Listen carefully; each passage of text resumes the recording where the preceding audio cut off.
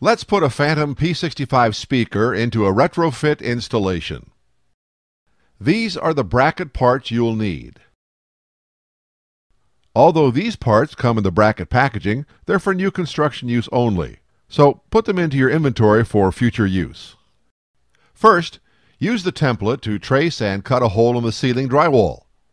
Be sure you have enough clear space in the ceiling to accommodate it. After we cut the hole, we fold the mounting bracket and pass it through the opening. Then we unfold the bracket in the ceiling and position it so it's centered in the cutout. We need to attach the bracket to the drywall to make sure the bracket and drywall are snug.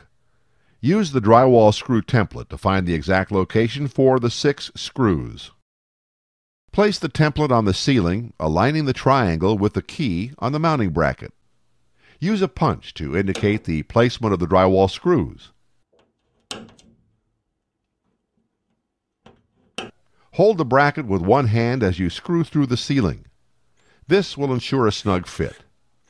The P65 speaker has bass down to 40 Hz and plays quite loud. A tight mechanical bond between the drywall and mounting bracket is important to keep the drywall mud from cracking and to give you the best acoustic performance. Once the bracket is screwed in, attach the mud ring.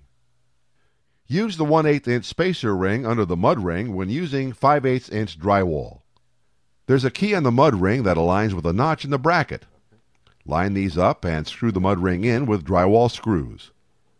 This is how the bracket assembly should look for your drywaller ready to mud.